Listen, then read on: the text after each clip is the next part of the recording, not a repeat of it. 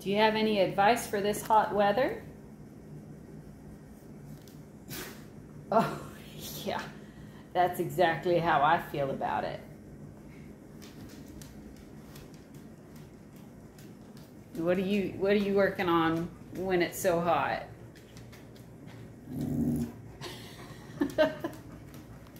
yeah, me too. Stay cool.